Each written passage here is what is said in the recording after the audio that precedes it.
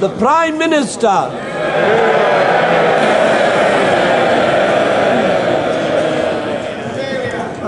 Mr. Speaker, the, the right honourable gentleman has made what is for him an unusual speech. Yes, I get it. But I must say to him that I think he's no more credible when he makes a, myster- when he makes a serious speaks, a speech than when he makes one that is more light-hearted. He certainly, he certainly mastered a veritable battery of statistics. Indeed, it seemed as if he made up for the absence of those statistics in every previous speech in history. But not one policy did he enunciate that would tackle unemployment at its root. That it would have reduced overmanning or would enable this nation to become more competitive, which we have to, that we're to get more jobs. Yes, he did indeed give a battery of statistics over the first two years. But has he forgotten his own two years when from March 1974 it took just over two years to be on the way to the IMF because his government hadn't the guts to follow the right policies to put things right themselves. Yes, he mentioned places like Linwood. I was a member of the government that sent the factory to Linwood with the best of intentions, with all of the possible regional aids. That factory, which went to Linwood, made a loss in 18 out of the 19 years of its existence. And I say to him in all honesty, that could not possibly go on. He referred to the tragedy at Consett and Corby. But he was a member of a government that put off steel closures that should have been dealt with years before. His government refused to face reality in the steel industry. He pointed out that his government sustained the number of people in jobs. Is he suggesting that steel would have a better future or that British Leyland would have a better future? If we put back all of those people who have been made redundant, they'd have had no possible future at all. Nor would productivity ever have been ever have risen, and indeed all of the prospect of future jobs would have disappeared forever. He referred to world recession, said we didn't seem to know there was on when we came back into power. As a matter of fact, the world recession really started with a sharp increase in oil prices, and OPEC was actually sitting two world recessions, one in 74, and perhaps the right honourable gentleman will remember, sharp increase in oil prices followed by a very considerable reduction in the real oil prices for the greater part of the lifetime of his government. Another extremely sharp increase in oil prices, which took place, which took place when OPEC was sitting when we were at the first economic summit in Tokyo. That was the beginning of the second world recession. That was the beginning of the second world recession. And oil prices since then have risen by over 100%. And the fact is, yes, there is a world recession, but the fact is, the fact is that the countries which were most efficient, the countries which had not got over manning, the countries whose governments had faced realistically the economic problems before 1979, of course they ride the world recessions better. They are Germany, they are France, they are Japan. They are all the countries which, fo- which, which followed the very policies which the Right Honourable Gentleman's government rejected and which we are now trying to, to follow today. The Right Honourable Gentleman referred to the TUC policy document and to his own policies. They seem to amount to spend more, tax less, and meet the difference by printing and call it reflation. I must say to him that if anything like those proposals were adopted, the pound would plunge and inflation and interest rates would rocket.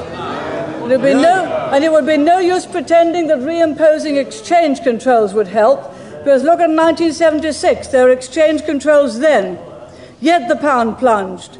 And if the pound plunges with consequent increases in interest rates and inflationary expectations, bang will go all our hopes for more jobs. And that would be the effect of the Right Honourable Gentleman's policies. What he argued for was a policy of massive reflation.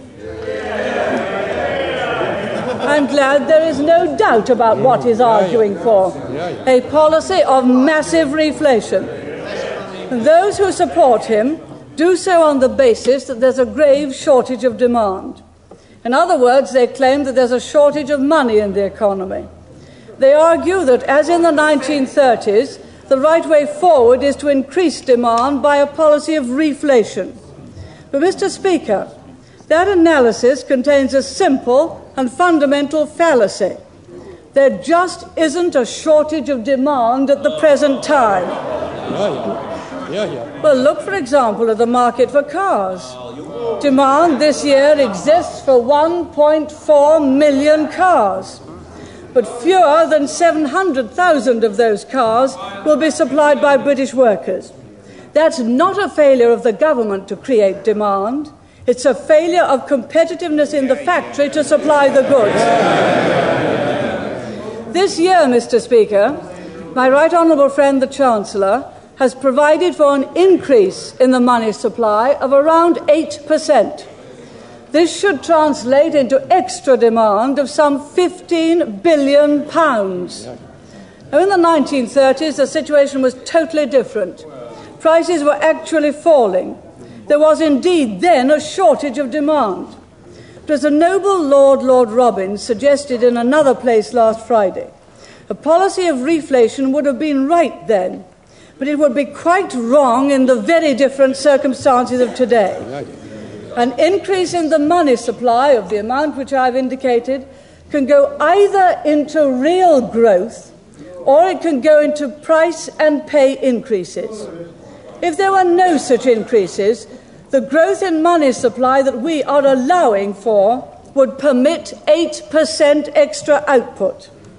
If pay and price increases were modest, there will still be room for some growth and for some new jobs.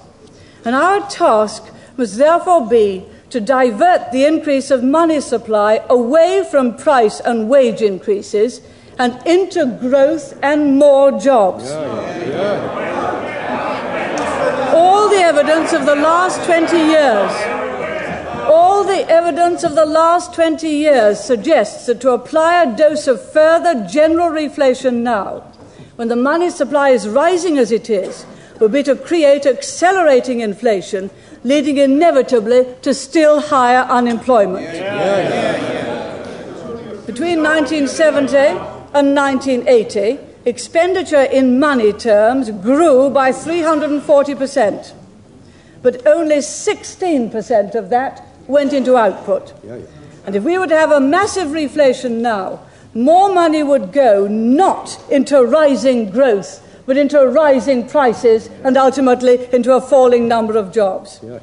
So the Honourable Right Honourable Gentleman's call for reflation bears no relation whatever to the basic problem of the British economy, which he's always refused to face, which is lack of competitiveness.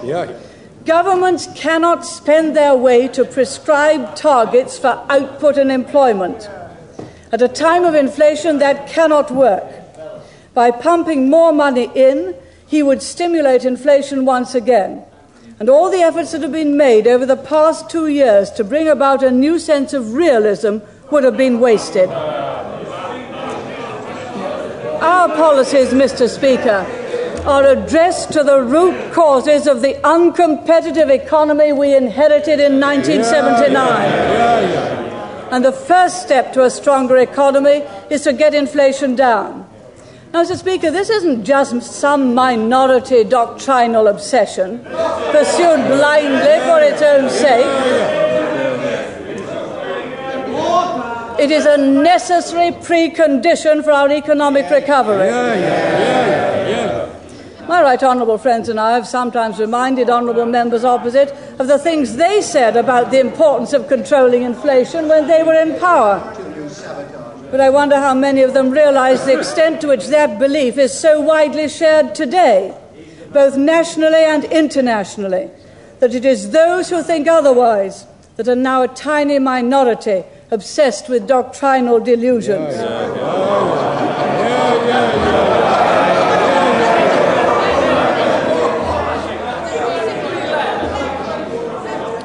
remind honourable members, for instance, of this passage. We must continue to reduce inflation if we are to secure the higher investment and sustainable growth on which the durable recovery of employment depends. I couldn't have put it better myself. But that passage is the centerpiece of the communique issued at the conclusion of the Ottawa summit last week and was unanimously agreed, not just by those broadly conservative administrations, but also by those such as President Mitterrand and Chancellor Schmidt, who head broadly socialist ones. Inflation is the cause of unemployment, not an alternative to it. And in case there are any doubters on the other side of the House, let me remind honourable members of this passage too. Our most urgent task is to create more jobs while continuing to reduce inflation. Inflation does not reduce unemployment. On the contrary, it is one of its major causes. That, Mr. Speaker, was an extract from the communique of the Downing Street Economic Summit in 1977, when unemployment under the previous government was at its peak, after the Labour government had been rescued by the IMF. So the defeat of inflation is a necessary but not a sufficient condition for recovery. Oh, so we've taken further steps to lay the foundation for the growth of profitable enterprise. To remove long standing obstacles, we've swept away controls and regulations on a large scale, including wage, price, dividend, and exchange controls. To provide incentives and to help industry, We've lowered the basic rate of income tax from 33% to 30% and made even bigger reductions in the higher marginal rates, which had, re- which had reached absurd levels under the previous government. And we've started to provide the small business sector with a more encouraging capital tax regime and we've vastly improved the arrangements for stock relief. We've also introduced substantial incentives for new businesses, including in particular a business startup scheme more generous and better than in any other country in the world. We've created a number of enterprise zones, the first three of which are already in operation Swansea, Corby, and Dudley and five more will be in, the end of, uh, in operation by the end of August. There are calls for a program of investment led growth. But many forget the vast resources which the government is already providing as direct help to private sector industry, largely under the Industry Act and mostly in assisted areas. This year, that will amount to over a billion pounds and twice as much as that is being provided to public sector industries such as British Leyland and British Steel Corporation. This is not to enable them to carry on as they were, but to help them carry out the necessary radical restructuring so that they too can eventually contribute to the recovery. Now, all of those things are being done to lay the foundations for the future of private enterprise oh, and indeed to make public enterprise profitable in addition to reducing inflation as our top priority. We also believe that it's essential that as many young people as possible are given training and practical experience in the use of the new technologies which will form the basis of so many new jobs. Over the last few months, we've been discussing with industry ways in which such practical experience can be provided. We pioneered a scheme in Notting Hill for a technology centre providing computer and electronic training for young people. And I'm glad to be able to announce that following the success of that centre, we've now approved a programme with as a first target 20 information technology centres concentrated in our inner towns and cities, where young unemployed people will be trained in computing and electronic assembly skills, because that is where future genuine jobs lie. Mr. Speaker, inflation has been checked, and these measures are all now in place laying the foundation for the future prosperity of private and public enterprise. Of course, they will take time fully to work through, but we are already seeing signs of success. And I propose to give some of them. The rates of increase of wholesale prices, retail prices, unit labour costs, and of average earnings have all fallen substantially. In most cases, pay settlements have adjusted quickly to the ability of the employer to pay. The rate of increase in unemployment has been steadily declining over the past few months. On a seasonally adjusted basis, the July increase in unemployment was the smallest since December 1979, and vacancies notified in July rose for the first time in six months and showed the largest increase for over two years. Order books in many industries are filling up again. Orders received in the first quarter of this year by British engineering industries alone were worth nearly 25% more in real terms than those received in the last quarter of 1980.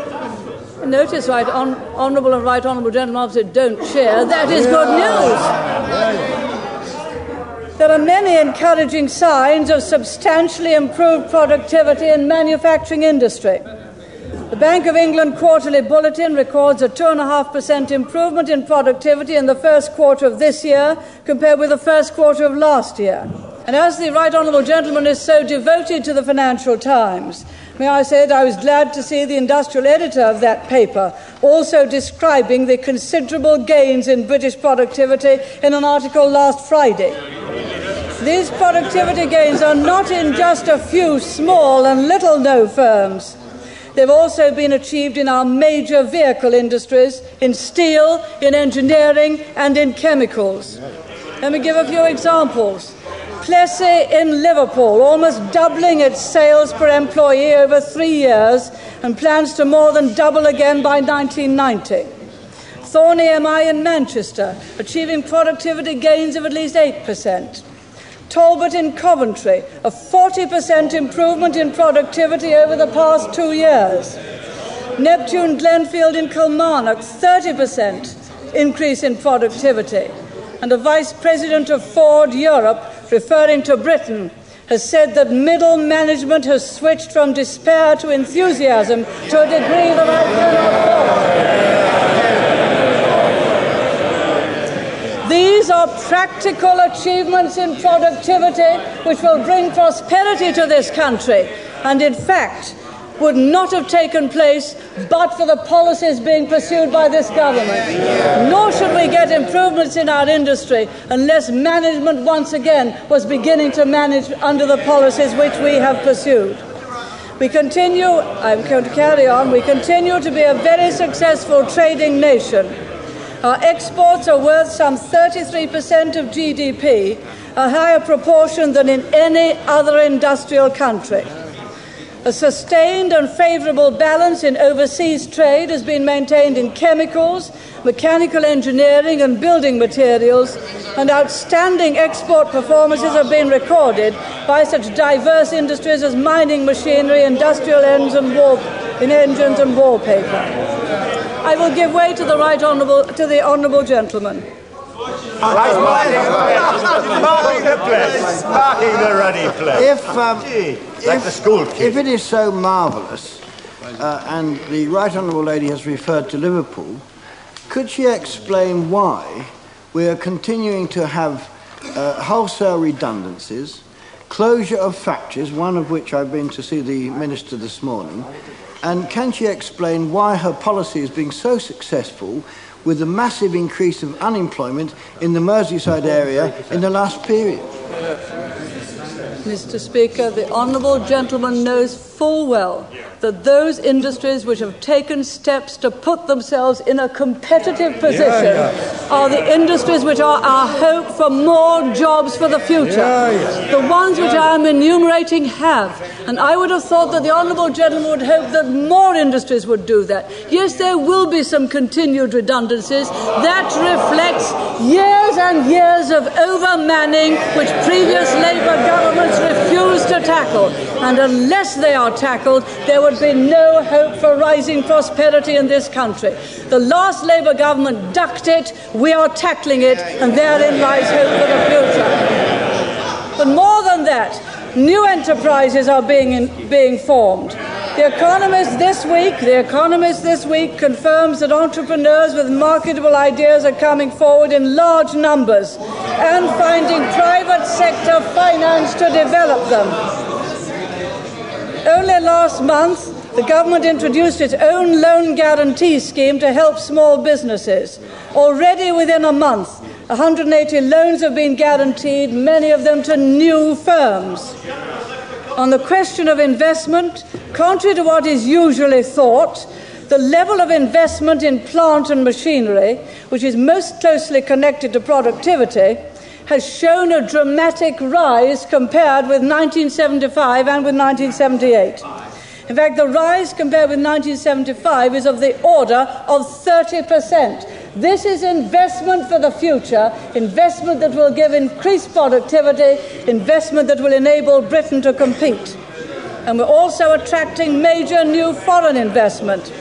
For example, Hewlett Packard of California announced a few days ago their plan for a second manufacturing base in the United Kingdom because we had, they said, now the best combination of financial, market, and infrastructure provisions for their project. Large new investments in South Wales were recently announced by a Canadian telecommunication company and a Japanese television company. These are signs of success that are working through already. Of course, honourable members opposite don't like them. Yeah. They are signs that the policy is working even in advance of an upturn in the world economy. And these are signs, this is the kind of output and production which will bring about the very expansion, the very increase in jobs, genuine jobs, which we on this side desire. Mr. Speaker, governments alone don't make economic recoveries, individuals and companies do. But what the government can do is to ensure that conditions are such that companies can take advantage of the expansion as it comes. We wouldn't have been able to do so unless this government had tackled problems at their root. And the examples I've quoted show the benefits of that approach are starting to come through. Now, the, the uh, opposition's motion refers to the government's social policies, and the Right Honourable Gentleman referred briefly to the recent disturbance and to the social policies, and I intend to say a word about both in rather more detail than the Right Honourable Gentleman referred to them. There are just two points I would like to make about the disturbances. First, many explanations have been offered about why they happened. Today is not the time to attempt a detailed analysis of the causes. We must await Lord Scarman's report. All I would say now is that the causes appear manifold and complex. The disturbances do not all seem to have had the same origins. It is, I think, worth pointing out, too, that disorders of this kind are not unique to Britain in Western Europe. They have occurred in recent weeks in Switzerland, Holland, and West Berlin. Again, as far as one can judge, all for different reasons. The second point about the disturbances is what our immediate response should be. The government has been twofold. First, we've given full support to the police in their task of maintaining law and order. Second, faced with disturbances on this scale, it is plainly right for the government to take a fresh look at the problem of the inner cities, and in particular to see whether the large sums of money already being spent on them are being used in the best way. And that's why my right honourable friend, the Secretary of State for the Environment, is in Liverpool now. I believe that the public generally regards the government's balanced reaction of determination to maintain law and order and a readiness to look constructively at the underlying problems as the right response to the situation. The right honourable gentleman referred to our social policies. Already, everyone is familiar with the priority we've given to law and order, and, as he mentioned it, to defence. But few realise that we have also singled out spending on the National Health Service as a major priority.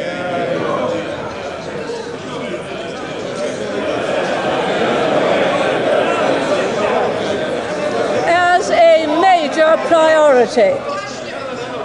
We are now spending more in real terms on the National Health Service than in any year under the Labour government.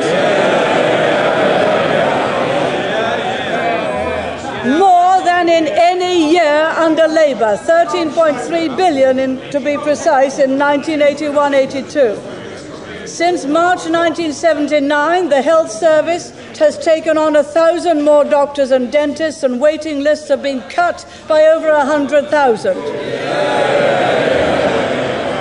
Retirement pensions for a growing number of pensioners have had their value maintained in relation to prices at a cost of 4.4 billion more this year compared with 1978-79. No wonder the right honourable gentleman didn't spend long on this in his speech.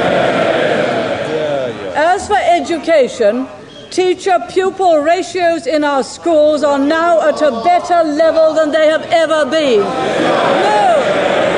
Honourable members will not like it because it proves that, in spite of everything, in spite of the difficulties of world recession, we are doing better with those things than they were when they were in power. And how they hate it. Mr. Speaker, these are only a few examples of the policies of this government of ensuring the priority is given to looking after the elderly, the young, and the sick, those least able to look after themselves. Mr. Speaker, I've outlined the government's long term strategy for solving our long standing problems. Quite right, quite right. But the Honourable Gentleman doesn't have to wait to hear it if he doesn't wish to do so quietly. But during the transition, we have to redouble our efforts to ease the burden of hardship caused by unemployment. Mr. Speaker,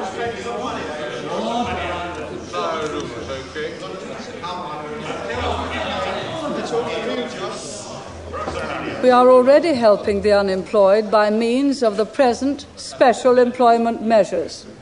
They currently help over 800,000 people at a cost of £1 billion this year. We intend to develop these programs not only to help people through a difficult time, but to do so wherever possible in a way which will provide lasting benefit to the economy. We must do this both for young people and for some of those who are older but who are without jobs. I will start by setting out our proposals to help young people. First, there is evidence from many areas of an increase in applications to stay on in school or college. It's good when young people choose to follow educational courses, many of a vocational nature, in many cases to obtain qualifications that will help them to get and keep jobs.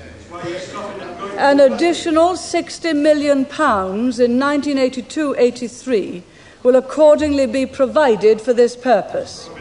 As a result, we hope that as many as 50,000 more young people will stay on in school or college. Second, we are providing an extra £10 million this year and £11 million next for the support of longer term skilled training of young people. This was announced last week. Third, we must continue to provide for those who leave school but fail to find work. I reaffirm the undertakings announced by my right honourable friend, the Secretary of State for Employment, last November, that all unemployed school leavers should this year be offered a place on the Youth Opportunities Programme by Christmas, and that we should try this year to offer a place within three months to other young people who've been unemployed for three months. These objectives will require an extra 110,000 places on the Youth Opportunities Programme this year, above the 440,000 originally planned. My right honourable friend has informed the Manpower Services Commission today that the necessary resources for this will be provided. I will give the figures all at the end, both gross and net. I'm aware that there have been criticisms of the Youth Opportunities Programme, not least from some of the young people who've taken part in it. Indeed, my right honourable friend, the Environment Secretary, has already heard some of them from the young people of Liverpool. They felt that the work they were being asked to undertake was of a cosmetic nature, whereas they po- wanted positively to work for a business or to feel they were receiving effective training. Although I believe that in terms of the demands made upon it, the Youth Opportunities Programme has done a very good job indeed. We must now look at it more closely to see that the experience provided is satisfying to the youngsters themselves and that it gives the community which provides the resources the best possible value for money. We're therefore not only looking at the programme to see how it can be improved, but we're giving further consideration to the provision of a better training scheme for the young, which would eventually replace the existing programme. Our aim is to reach the position where all young people, on leaving school, either move into further education, find a job, or are given the chance of vocational training or community service. We want to help the individual and to strengthen our economy by having a better trained workforce. A statement will, of course, be made when, after consultations, we've reached our conclusions. In the meantime, may I finish the end of this section? There's a lot more to come. In the meantime, I confirm that the existing guarantees under the Youth Opportunities Programme will be honoured next year as well as this, and that we shall continue to improve the quality of the programme. I give way to the Honourable. But isn't, isn't the assurance which the Prime Minister has just given the same assurance which the Secretary of State has given on two previous yeah. occasions when he said that the position was deteriorating and that the government was earnestly looking at that moment at the very issue which she's now announcing. The consultations have been taking place over the last 18 months. All we needed was a decision, and that is the decision which the Cabinet has now found. But we have not indeed had consultations over 18, 18 months. There was a, a document issued, a, a new training initiative. The Honourable Gentleman is correct in saying that we have given assurances that the guarantees would be honoured. We are, in fact, now finding the resources to ensure that they are honoured. And I must point out that those guarantees are very much better than were given by the previous Labour government both in, both in those who've left school getting, getting some kind of work experience by Christmas, and in those who've been out of a job for three months also having the chance to have some work experience. Fourth, the government believes that more needs to be done to help school leavers into jobs. Because the wages of young people are often too high in relation to those of experienced adults, employers can't afford to take them on even though it's clear that many employers would like to help. This situation has come about because of unrealistic pay bargaining over the years. It contrasts vividly with the situation in Germany, where the wages of young people are much lower relative to those of adults, and where consequently they have less youth unemployment.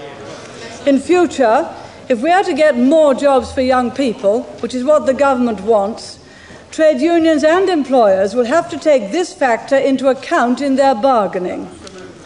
The government, for its part, has decided to provide some encouragement to employers to take on more young people at realistic wage levels. We propose to introduce a new scheme under which employers will be offered a weekly payment of £15 for all young employees under the age of 18, provided they are in their first year of work and provided their earnings are below £40 per week. Full details of the scheme will be announced shortly with a view to its introduction early in 1982. It is expected to cost about £60 million in a full year. I now turn to the job release scheme. Exceptionally large numbers of people will be reaching normal retirement age in the mid 1980s. By bringing forward that peak of retirements, we can release jobs so that they may be taken by people who are at present unemployed. Our fifth proposal, therefore, is to lower the age for the job release scheme until March 1984 from 64 to 63 this November.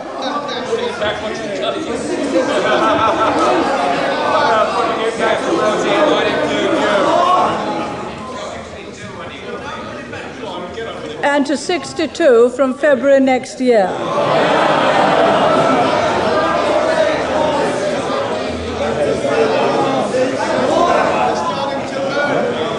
This will cost about 150 million pounds in a full year.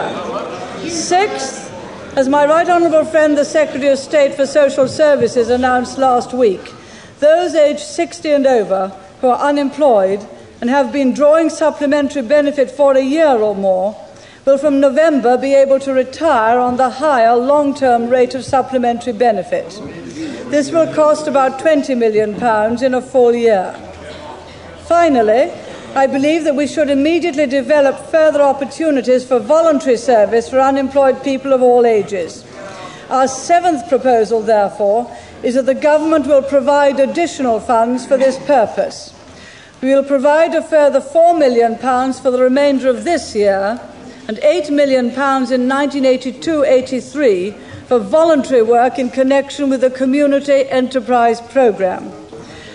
There are also opportunities in social service and health where community support for the handicapped and elderly depends on a wide range of voluntary services as well as statutory provision. An additional £4 million will accordingly be available in 1982 83 to expand these activities, and the departments concerned will be considering how best to apply this money. Mr. Speaker, the additional costs of meeting the existing undertakings under the Youth Opportunities Programme are estimated to amount for the rest of 1981 82 to about £90 million. They may approach 350 to 400 million pounds in 1982 83, but that will depend, among other things, on the impact of the new scheme to encourage employers to take on more young people and of the increased educational expenditure, both of which could lower the costs of the Youth Opportunities Programme. The costs of the other measures are estimated at about 60 million in 1981 82 and at around 320 million pounds in 1982 83. For 1981 82, the extra expenditure will be met from the contingency reserve within the planned total for public expenditure. For 1982-83, it will be taken into account in the forthcoming review of public expenditure. The figures I have mentioned, the figures I have mentioned are gross costs, which will partly be offset by lower expenditure on social security benefits and higher tax receipts, and by support from the European Social Fund. The total net cost of fulfilling the Youth Opportunities Programme undertakings and of the other measures may be of the order of 400 to 500 million pounds in 1982-83. These extra costs will have to be accommodated within the general framework of the government's medium-term financial strategy. Mr Speaker, we all feel concern for those who are unemployed, but concern is not enough nor is it enough to find means of relieving the effects. If the Right Honourable Lady has reached the end of the package, could I uh, put this to her? Whilst, of course, we welcome any U turns that are involved in this package, uh, some of us. Uh, some of us remember the fierce debates we had in the House when the Right Honourable Gentleman uh, was attacking the job release scheme and raising the age limit to the 64. And we can remember those. And we can remember several of the other debates. So some of the, some of the proposals represent a U turn by the government, and we congratulate the government upon them. But when the Right Honourable Lady says that these questions are subject to consultation, will she agree that those consultations will involve full consultations with the Manpower Services Commission because many of us will regard this package as a derisory package to deal with such a major problem. Uh, with regard to the first point that the Right Honourable Gentleman made, the Right Honourable Gentleman brought down, I speak from recollection, the age for the job release scheme down to, to 62 for one month before the general election. Not therefore in a position to speak about it. One month. One month. With regard to the Manpower Services Commission, the Youth Opportunities Programme is, of course, run by the Manpower Services Commission. Any changes made within it will, of course, be the subject of consultation with the Manpower Services Commission, and I believe that I made that clear. Since we regard this programme and that the, the packet that the Right Honourable Lady has presented as quite insufficient, what I'm asking is whether those consultations with the Manpower Services Commission, which really does know something about the problem, whether those consultations may involve an increase in the amounts that are to be supplied instead of sticking rigidly to these figures, which we think are quite insufficient to deal with the problem not think that the Right Honourable Gentleman knows very much about the Youth Opportunities Programme. The guarantees which I have given, well, doesn't mean to say he knows anything about it. Um, the, uh, the guarantees that have been given, the guarantees that have been given are that school leavers who have not found a job will in fact be offered some kind of work experience by Christmas, which is a jolly sight better than what the Right Honourable Gentleman offered them. And if they've been out of work, if, if uh, they've been out of work for three months, they will also be offered a place on the Youth Opportunities Programme. It is to honour that commitment which we are saying that the youth opportunities places will need to be increased, and we've made the resources available to increase them by 110,000. The guarantees will persist not only for this year, but also for next year, as I made perfectly clear had he listened to what I said. Mr. Speaker, we all feel concern for those who are unemployed, but concern is not enough. Nor is it enough to find means of relieving the effects on individuals of our failure as a nation to compete, although we shall certainly do our part. I have no doubt that the party opposite could also put forward ways similar to the measures which I have proposed today. But the difference between us is this, and it is profound. We believe that long standing problems need long term solutions. We believe there is no shortcut to full employment. The route lies through becoming competitive again. The party opposite believe there is a shortcut, and that it, that it is called reflation. That, Mr. Speaker, is a road that would take us away from becoming competitive and away from more jobs, would take us towards hyperinflation and towards higher unemployment, and it is a road that we will not follow. We must recognize that we cannot enjoy more wealth until we earn it. This government is committed to saying that we do earn it. It will be hard work and it will take time, but with our policies we can do it. I urge the House to reject the soft options, to reject the prospect of continuing economic decline, to reject reflation, and to reject this motion and to support Her Majesty.